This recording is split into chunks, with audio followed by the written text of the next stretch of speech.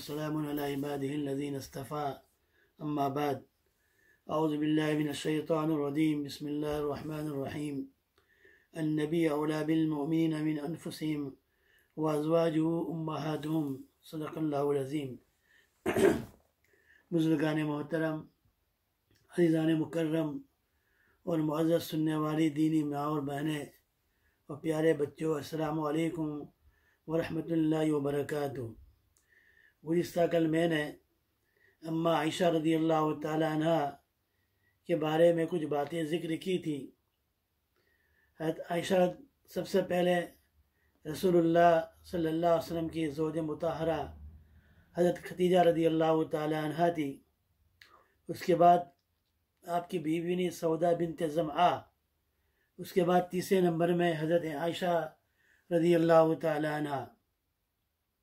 عائشہ رضی اللہ تعالیٰ عنہ کہتی ہے کہ اگر کسی قالب میں، کسی جسم میں اگر روح ہے تو میری روح حضرت سودا بنت زمعہ رضی اللہ تعالیٰ عنہ کے اندر ہے۔ بڑھاپے کے اندر حضرت سودا رضی اللہ تعالیٰ عنہ نے اپنی باری حضرت عائشہ رضی اللہ تعالیٰ عنہ کو سپرد کر دی تھی۔ حضرت عائشہ رضی اللہ تعالیٰ عنہ یہ رسول اکرم صلی اللہ تعالیٰ علیہ وسلم کی کنواری بیوی تھی۔ عائشہ رضی اللہ تعالیٰ عنہ کی شادی بہت کم عمر میں ہو گئی تھی۔ حضرت عائشہ رضی اللہ تعالیٰ عنہ خود بیان کرتی ہے کہ میں نے اپنے والدین کو پہچانا اور انہیں مسلمان پایا۔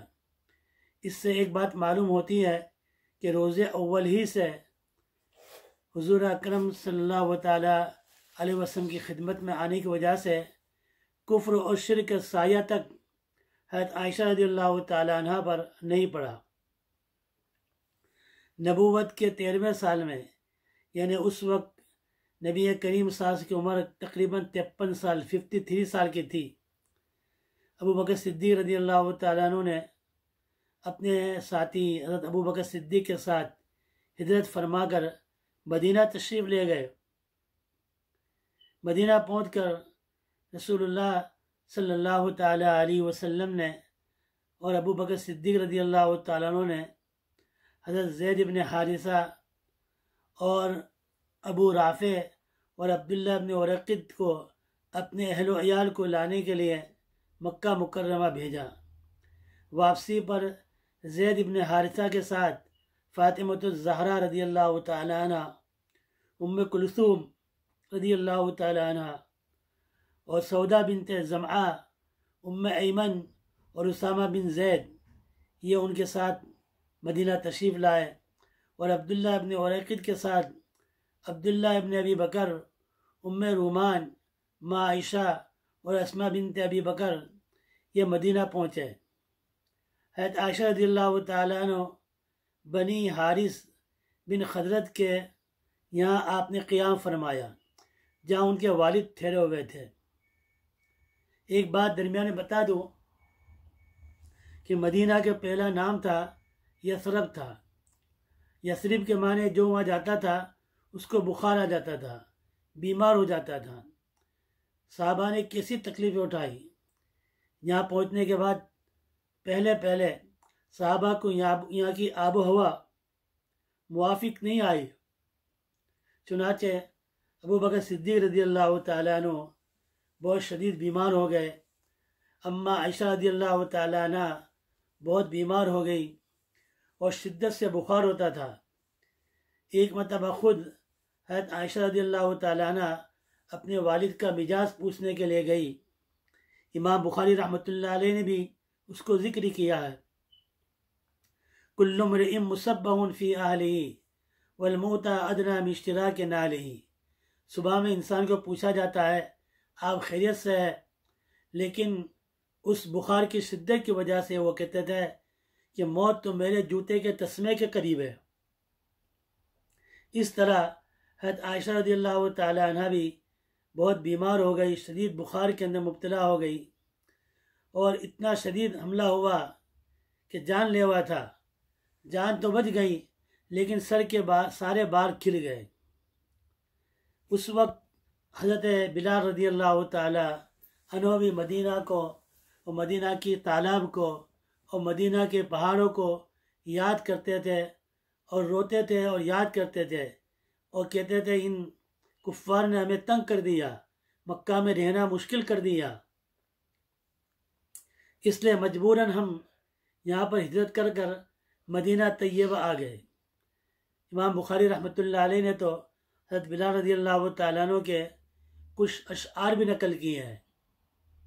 حل ابی تن لیلتن بواد و ذکر و جلیل وَلْأَلْدَنَّ يَوْمًا مِيَاوْ مَجِلَّةٍ وَلْيَبْدُونَ لِي شَامَةٌ وہاں کی پانی کو وہاں کے تالاب کو وہاں کی اسکر گھاس کو یاد کرتے تھے وہاں کے پہاڑوں کو یاد کرتے تھے۔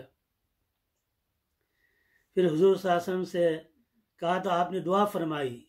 اللہ تعالیٰ یہ مدینہ کی ہوا کو، آب و ہوا کو خوشگوار بنا دے اور اس کی بلا کو تو اللہ جوفا میں یا میہمہ میں ڈال دے۔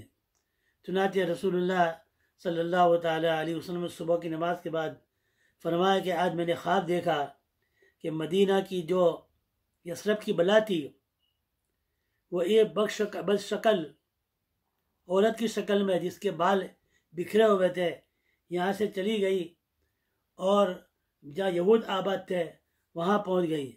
اب مدینہ کی ہوا بالکل پاکیزہ بن گئی۔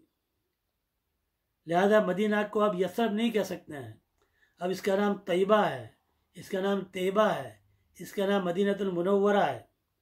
تو حضرت عائشہ رضی اللہ تعالیٰ عنہ کی صحت بھی خراب ہو گئی۔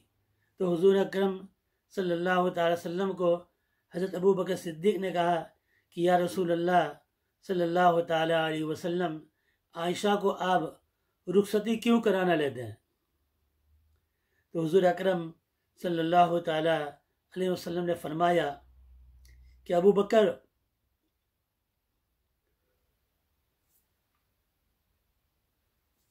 میرے پاس عائشہ کو مہر ادا کرنے کے پیسے بھی نہیں ہیں۔ آپ مجھے بطور قرض دے دو، پھر میں آپ کو لوٹا دوں گا۔ تو ابو بکر صدیق رضی اللہ تعالیٰ عنہ نے جو مہر ہوتی تھی پانچ سو مسقال وہ حضور صلی اللہ علیہ وسلم کو دے دیا اور آپ نے پھر رخصت فرمائی۔ اس طرح حضرت عائشہ رضی اللہ تعالیٰ عنہ کی رخصتی ہو گئی۔ شوال کے مہینے میں سن ہجری ایک یا دو میں ان کی رخصت ہوئی۔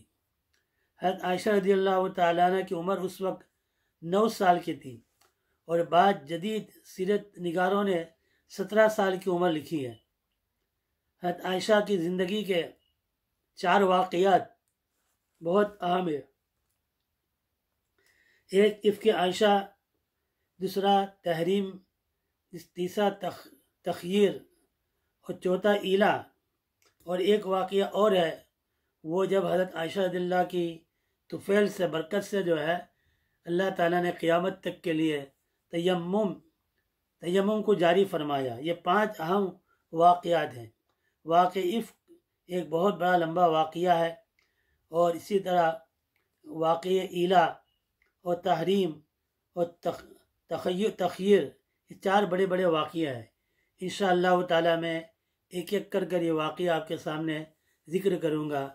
اللہ تبارک و تعالیٰ ہمارے دلوں میں، ہمارے نبیوں کی، بیویوں کی یعنی امبات المؤمنین، ازواج متحرات کی دل میں ہماری احترام اور عزت ہو، ان کا وقار ہمارے دلوں کے اندر ہو، ان کی عظمت ہمارے دلوں کے اندر ہے۔ اللہ تبارک و تعالیٰ ہمیں ازواج متحرات سے، نبی کے گھر والوں سے محبت نصیب فرمائے۔ اللہ تبارک و تعالی ہمیں سننے سے زیادہ سمجھنے کی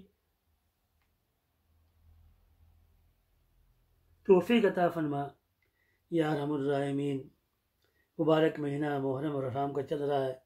اللہ اس کی برکتوں سے ہمیں مالا مال فرما۔ یا رحم الرحمین صحابہ نے کیسی کیسی قربانیاں دی ہیں۔ اللہ تبارک و تعالی ہمیں بھی عافیت کے ساتھ جو ہم پر تکلیف آئے، اس سے برداشت کرنے کی ہمیں طاقت، قوت عطا فرمائے۔ یا رحم الرحمین تو راضی ہو جا۔ تیرے رضا والے کام کرنے کی ہمیں توفیق عطا فرما۔ یا رحم الرحمین بیماروں کو شفا عطا فرما اور مرحومین کی مغفرت فرما۔ یہ اللہ، ہماری دعاؤں کو اپنے فضل و کرم سے قبول فرما۔ صلی اللہ تعالیٰ علی خیر خلقی محمد وعلی آلہ وصحابہ اجمعین۔ برحمتک یا رحمت